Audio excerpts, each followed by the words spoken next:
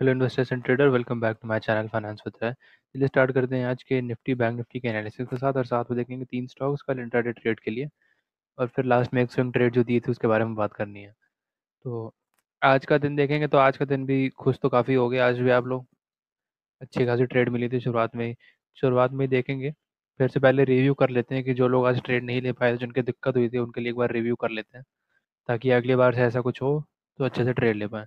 कल देखेंगे तो कल ऐसे एक अपवर्ड मूवमेंट देखने को मिला था, फिर एक नीचे ऐसे मार्केट आई, फिर आज देखोगे तो मार्केट यहाँ खुली और नीचे आ गई ऐसे तो एक डबल टॉप बना के मार्केट फिर इसको ब्रेक करके नीचे चली गई। अब इसको ट्रेड करने के दो तरीके थे हमारे पास, ये या तो हम यहाँ ट्रेड ले लेते हैं, या तो भूल जाते हैं कि यहाँ इसको इसको इग्नोर कर दो, इसको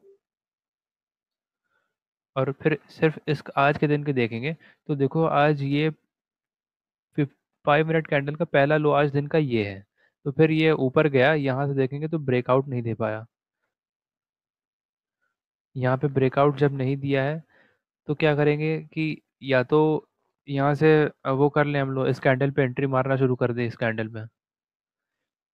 ये बिगनर्स के लिए नहीं है, थोड़ा अगर एक्सपीरियंसड है तब इजीली कर पाएँगे। अगर बिगनर्स है तो थोड़ा सा आइडेंटिफाई करने में आगे भी दिक्कत हो सकती है।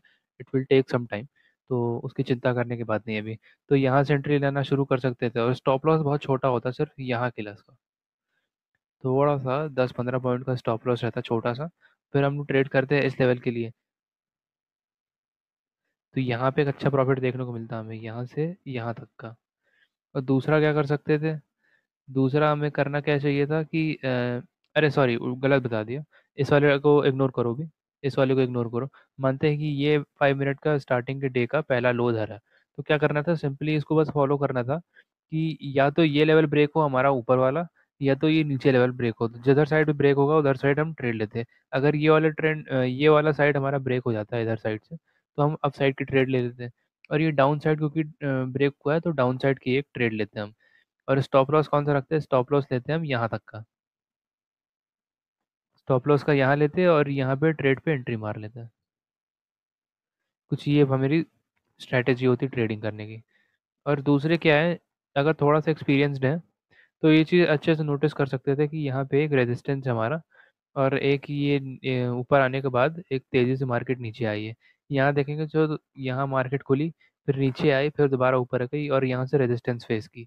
ये वाले कैंडल बनने के बाद तो इधर के आसपास एक स्टॉप लॉस लगा सकते थे। स्टॉप लॉस लगा के छोटी सी एक ट्रेड यहाँ तक की ले सकते थे। अगर ऊपर से लिए हैं तो पहला टारगेट हमारा ये होना चाहिए। अगर ये ब्रेक करता है तो फिर इसका, इसके साइज़ का मतलब नीचे प्रोजेक्ट करेंगे और यहाँ तक का ट्रेड लेते, वो दूसरी चीज़ थी। ठीक तो ये दो तरह से ट्रेड ले सकते थे हम लोग। तो जो यहाँ से ट्रेड लेते, उनका पहला टारगेट होता ये और दूसरा टारगेट होता है ये। और जो सिर्फ़ यहाँ पे एंट्री मारे हैं, उसका उनका टारगेट सिंपली ये होता। तो आज से इसीलिए अब मतलब एक बार जब यहाँ ट्रेड हम लोग को ख़त्म मिल मतलब सुबह सुबह जब यहाँ ट्रेड ली थी, यहाँ मार्केट जब नीचे पहुँच गई थी और रिट्रेस की थी तो सुबह एक कॉल भी दी थी शॉर्ट्स के थ्रू कि यहाँ पे दोबारा एंट्री मार रहे हैं हम लोग। तो एक अच्छा टारगेट यहाँ मिला था। और डबल बॉटम देखोगे तो दिन में कॉल खरीदने के लिए यहाँ से मिल गया था। बारह बजे के आसपास। ये एक ट्रेड मिल जाती। है छोड़ो, अब कल की बात करते हैं। अब कल देखेंगे तो दो दिन, पिछले दो दिन से मार्केट थोड़ी सी वॉलेटाइल रह चुकी है। तो कल एक एक्सपायरी के दिन है तो कल एक वन साइडेड एक मतलब एक तरफा मार्केट होने की उम्मीदें हैं, क्योंकि वॉलेटाइल मतलब वॉलेटाइल नहीं मतलब कंसोलिडेट किया कुछ दिन। तो अगर अगर मार्केट इस लेवल्स के ऊपर जाती है क्रॉस करती है तो हम लोग कॉल साइड खरीद के सुबह ही सुबह बैठ जाएँगे फिर अकॉर्डिंगली उसकी प्राइस एक्शन जैसे बनेगा उस हिसाब से स्क्वायर ऑफ़ करेंगे पोजीशन या कुछ करेंगे। अगर लंबी पोजीशन लेनी होगी तो अगले अ, अगले थर्सडे की लेंगे नहीं तो कल की ही एक्सपायरी खरीदेंगे। डाउनवर्ड खुल जाना होगा तो कुछ ना कुछ जैसे आज यहाँ पे हुआ था यहीं खुलेगी मार्केट थोड़ा सा प्राइस एक्शन बना के नीचे जाएगा।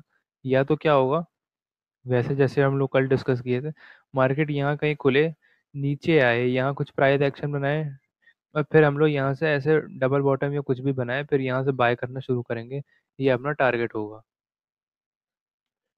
और सेलिंग करने के लिए अच्छे से इस लेवल्स के नीचे आए तो दोबारा एक फिर से हम लोग सेल टारगेट ले सकते हैं यहाँ तक का।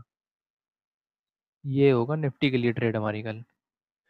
अगर बाइंग आती है तो अच्छा है कल, क्योंकि यहाँ पे देखो थोड़ा सा एक कंसोलिडेट किया है ना तो बाइंग के चांसेस कल ज़्यादा लग रहे हैं कि हो सकता है कल मार्केट ऊपर चली जाए। और ऊपर चली जाएगी इस लेवल के ऊपर तो बहुत जल्दी बाइंग स्टार्ट कर सकते हैं हम लोग इस लेवल के ऊपर। छोटा सा डिफरेंस रहेगा। इसके नीचे स्टॉप लॉस लगाएँगे और ट्रेड लेंगे आराम से। स्टॉप लॉस फिर से देख लो, इसके नीचे रहेगा। अगर यहाँ मार्केट खुलती है और फिर ऊपर जाना शुरू करती है तो।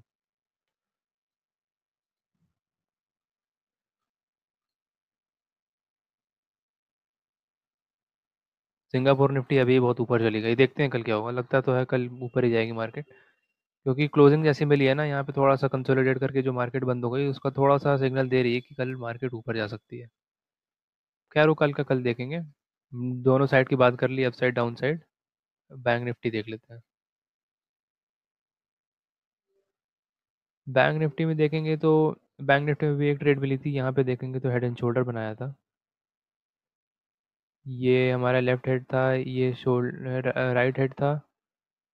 सॉरी, फिर से बना देते हैं यार। ये फिर यहाँ था, फिर ये छोटा सा राइट शोल्डर बनाया था, देखने में बड़ी दिक्कत हो रही थी इसको तो कुछ लोग हो सकता है मिस कर गए तो यहाँ पे एक ट्रेड बनी थी हमारी, ये इस पोजीशन पे, और स्टॉप लॉस इसका यहाँ लेना था। तो यहाँ मान लो अगर पोजीशन ले भी लिए, यहाँ पे वापस आकर रिट्रेस कर रहा है तो यहाँ पे पोजीशन और ऐड कर लिया करो, इस सीन में। थोड़ी सी डिफ़िकल्ट ट्रेड थी क्योंकि इसमें स्टॉप लॉस थोड़ा बड़ा था तो ये थोड़ा सा कंसर्निंग था। दूसरी ट्रेड देखोगे तो यहाँ पे एक बुलिश पैटर्न बना हुआ है।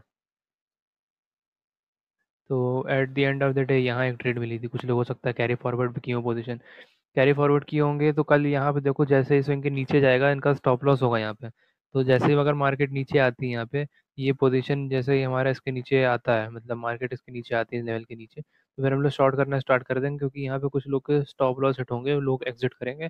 मार्केट में लिक्विडिटी बढ़ेगी और डाउन साइड ट्रेड देखने को मिलेगा इस लेवल तक का। इन लेवल को मार कर लेना।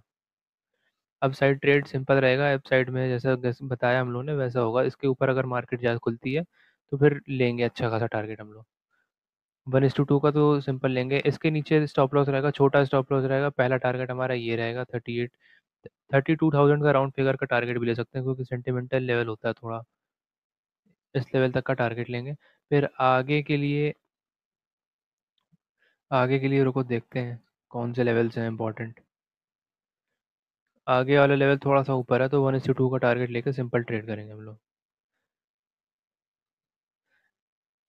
या हो सकता है कुछ प्राइस एक्शन बना के जाए ऊपर तो उसके अकॉर्डिंगली फिर हम लोग ट्रेड ले सकते हैं उसमें।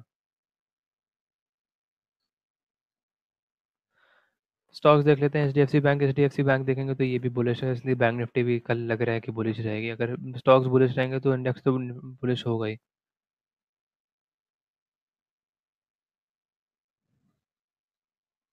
इस लेवल्स के ऊपर हम लोग एच डी एफ़ सी को ट्रेड करेंगे टारगेट हमारा इधर का होगा। डाउन साइड ट्रेड नहीं रहेंगी दोनों में। बैंक निफ्टी में भी एच डी एफ़ सी में भी और अरे sorry H D F C में डाउन साइड की ट्रेड नहीं लेंगे बैंक निफ्टी में डाउन साइड की ट्रेड बता दें सॉरी यहाँ पे देखेंगे तो इस लेवल्स के ऊपर हम लोग को बाइंग स्टार्ट कर देनी चाहिए।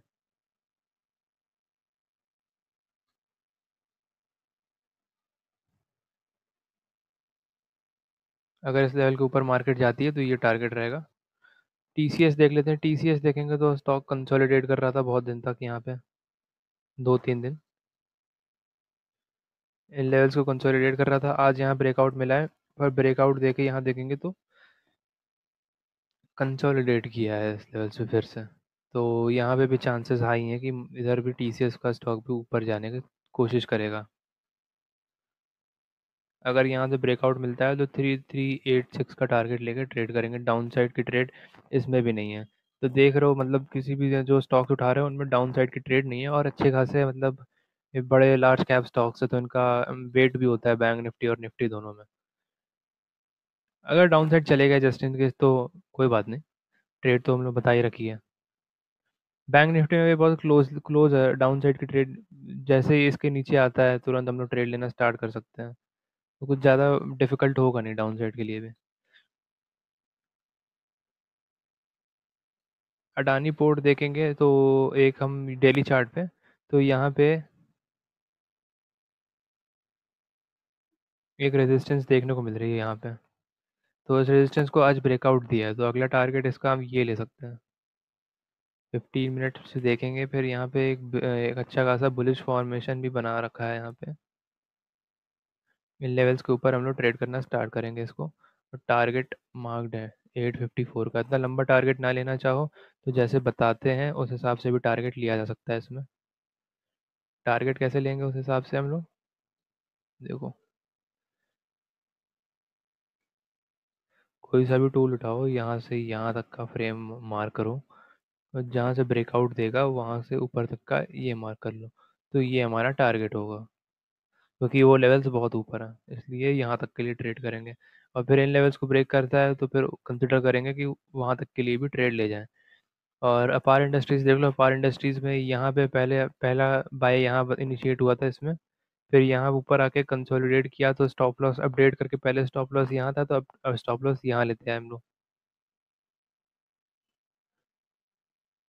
फिर यहाँ से ब्रेकआउट मिला और टारगेट सीधा तेरह सौ के आसपास जो बोला था वहाँ पहुँच गया। तो टोटल इसमें हम लोग को मिला है फोर्टी से फोर्टी एट परसेंट तक का। एक अच्छी स्विंग बनी है हमारी ये।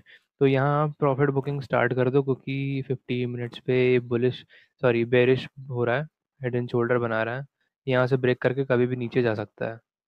तो यहाँ से प्रॉफिट बुकिंग स्टार्ट कर दो इतने से पॉइंट के लिए हम लोग पूरा मतलब तीस चालीस परसेंट नहीं देंगे। तो इसी के साथ चलते हैं। अगर वीडियो अच्छी लगी तो लाइक करो शेयर करो सब्सक्राइब करो और अपने आप को नोटिफाई करने के लिए शॉर्ट्स डाल दो शॉर्ट्स डालते हैं तो बेल आइकन ज़रूर दबा लेना। कोई ट्रेड क्योंकि इंपॉर्टेंट होती है तो उसी के थ्रू देते हैं। Okay bye